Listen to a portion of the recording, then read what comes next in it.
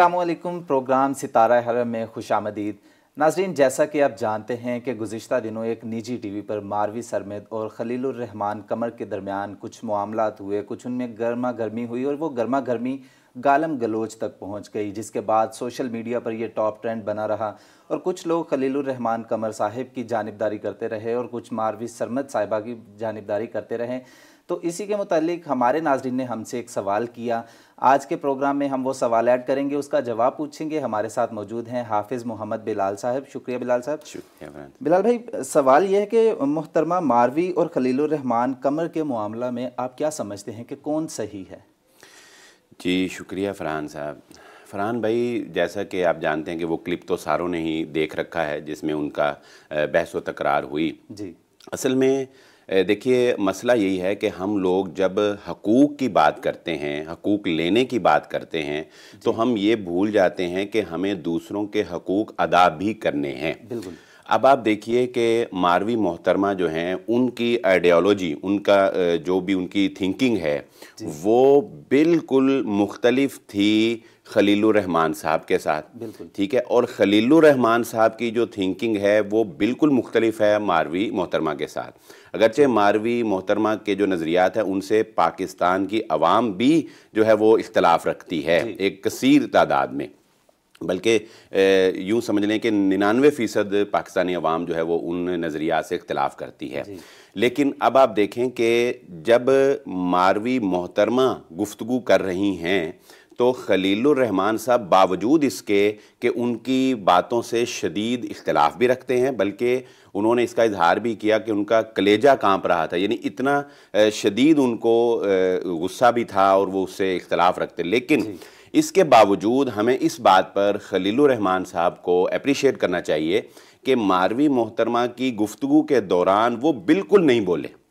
انہوں نے ان کا جو بولنے کا حق تھا جو بولنے کا ٹائم تھا وہ ان کو پورا دیا۔ اور مکمل انہوں نے ماروی محترمہ نے جو بھی انہوں نے کہا انہوں نے اپنی بات مکمل بیان کی ٹھیک ہے جی؟ یہ ان کا حق تھا جو کہ خلیل الرحمان صاحب نے ان کو پورا دیا۔ جی۔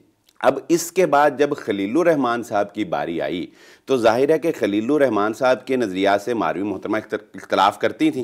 ٹھیک ہے جی؟ تو جب خلیل الرحمان صاحب نے گفتگو کا آغاز کیا تو اب ماروی محترمہ کو چاہیے تھا کہ وہ درمیان میں مداخلت نہ کرے۔ بالکل۔ جس طرح خلیل الرحمان صاحب نے صبر کیا برداشت کیا دیکھیں نا انہوں نے برداشت کیا بلکہ یہاں پہ وہ شعر کے مصداق بنتے ہیں خلیل الرحمان صاحب کہ ہم کو ہمارے صبر کا خوب صلہ دیا گیا۔ ہم کو ہمارے صبر کا خوب صلہ دیا گیا یعنی دوا نہ دی گئی درد بڑھا دیا گیا۔ اب خلیل الرحمان صاحب نے صبر کیا تو اس کا صلہ یہ تو نہیں کہ ان کا اور جو ہے وہ درد بڑھا دیا جائے۔ جی۔ جب انہوں نے گفتگو کا آغاز کیا تو انہوں نے درمیان میں مداخلت کی۔ جس کا لازمی نتیجہ یہ تھا کہ ان کو غصہ آنا تھا۔ اور پھر غصہ جو ہے وہ چونکہ ماروی محترمہ باوجود اینکر کے کہنے کے بھی اور ان کے کہنے کے بھی خاموش ہوئی ہی نہیں تو ان کا غصہ جو ہے وہ پھر بڑھتا چلا گیا بڑھتا چلا گیا۔ تو اس میں پھر ظاہر ہے ان نازیبہ کلمات۔ حافظ صاحب آپ نہیں سمجھتے کہ لیک آف ٹالرنس تھا خلیل الرحمان کی کمر میں مطلب ان کو اپنا بڑا کرنا چاہیے تھا اور ان کی جو انہوں نے انٹرپٹ کیا اس کو ان کو اپنے کھلے دل سے تسلیم کر لینا چاہیے تھا اور وہاں پر معاملہ اگر وہ اپنے آپ پہ کنٹرول کرتے تو معاملہ اس قدر نہ بنتا۔ جی جی, جی فرحان بھائی میں اس طرف آ رہا ہوں لیکن ہم نے یہ بھی تو دیکھنا ہے کہ پہلی دفعہ مسٹیک کس سے ہوئی؟ خلیل الرحمان صاحب کی مسٹیک کی طرف بھی ہم آئیں گے انشاءاللہ اس کی غلطی لیکن پہلے پہل جو پہلی جو مسٹیک ہوئی وہ ماروی محترمہ نے یہ کر دی اچھا جی۔ اب اس کے بعد خلیل الرحمان صاحب نے بہرحال جو انہوں نے الفاظ استعمال کیے ہم ان کو قطن نہیں سراہتے اور ان کی ہم حمایت نہیں کرتے جی۔ جو الفاظ انہوں نے استعمال کیے وہ انہیں نہیں کرنے چاہیے تھے جی۔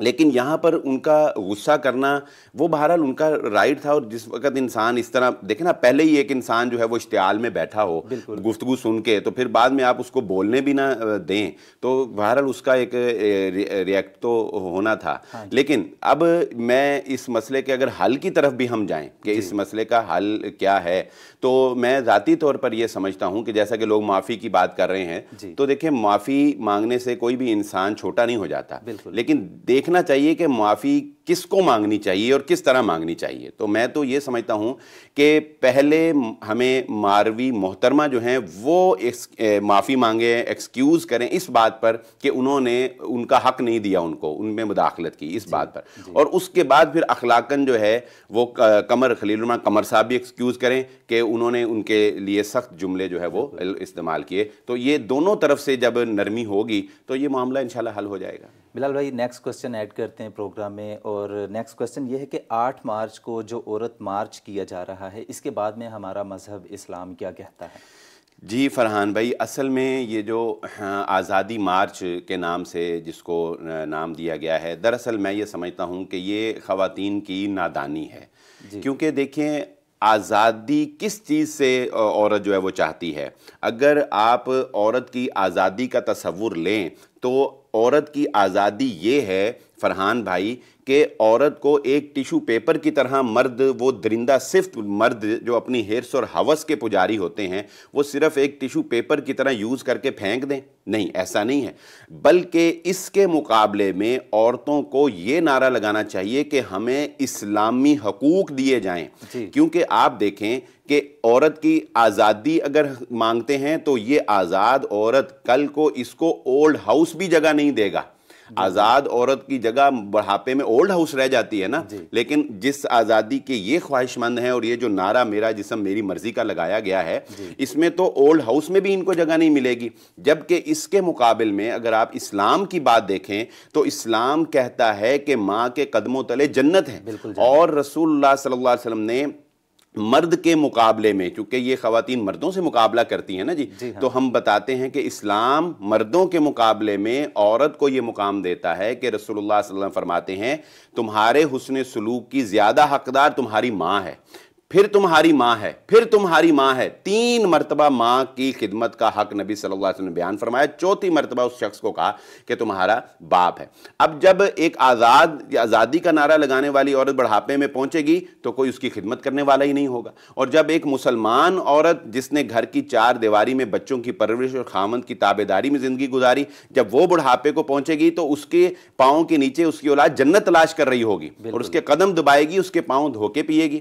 اور اس سے بھی آگے چلے جائیے یہی عورت جب کسی مرد کے گھر کسی باپ کے گھر بیٹی کی حیثیت سے پیدا ہوگی تو ایک آزاد خیال والا جو ہے وہ تو اس کو بوجھ سمجھے گا وہ جی۔ تو اس کو اپنے اوپر ایک بوجھ سمجھے گا اور وہ یہ جلدی سے جلدی کوشش کرے گا کہ یہ اس سے میری جان چھوٹے اور یہ جی۔ خود ہی اپنے پاؤں پہ کھڑی ہو معاشرے میں دھکے کھائے نوکریاں کرے جو مرضی کرے جبکہ اس کے برعکس ایک باپ جو اسلامی تعلیمات پر عمل کرتا ہے، جب اس کے گھر بیٹی پیدا ہوتی ہے تو وہ اللہ کا شکر اس بات پر ادا کرتا ہے کہ رسول اللہ صلی اللہ علیہ وآلہ وسلم نے فرمایا، جس کو اللہ رب العزت نے بیٹی عطا کی اور اس نے خلوص نیت کے ساتھ اس کی اچھی تربیت کی اس کی تعلیم و تربیت کا انتظام کیا اور اچھے طریقے سے اس کا نکاح کر دیا۔ جی۔ اس کے بدلے میں اللہ رب العزت اسے جنت عطا فرماتے ہیں۔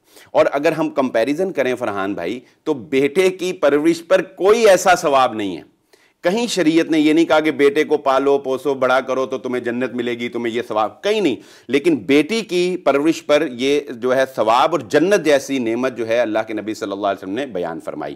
اور یہی کافی نہیں ہے بلکہ میں تو یہ کہتا ہوں کہ جن کو اللہ رب العزت نے بیٹیاں دی ہیں نا یہ بیٹیاں ان کے رزق میں برکت کا باعث بالکل اس لیے کہ میں اپنی بات کو مدلل کروں اس لیے فرحان بھائی کہ رسول اللہ صلی اللہ علیہ وسلم نے فرمایا ایک حدیث میں لمبی حدیث ہے میں اشارہ کر دیتا ہوں کہ تمہیں تمہارے کمزور لوگوں کی وجہ سے رزق دیا جاتا ہے۔ جی۔ اور بیٹی کمزور ہے؟ عورت کمزور ہے نا جی عورت کمزور ہے۔ جب کسی کے گھر میں ایک بیٹی آتی ہے، کمزور بیٹی، تو وہ باپ جب اس کی خلوص نیت سے تعلیم و تربیت کا انظام کرتا ہے نا، تو اللہ رب العزت غیب سے اس کے مدد فرماتے ہیں۔ غیب سے اس کے رزق میں برکت پیدا فرما دیتے ہیں۔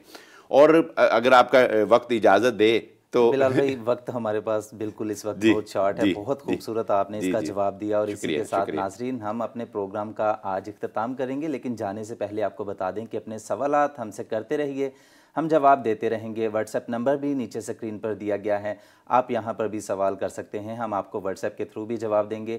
پروگرام ستارہ حرم کے لیے اب تک اجازت دیجیے اللہ نگہبان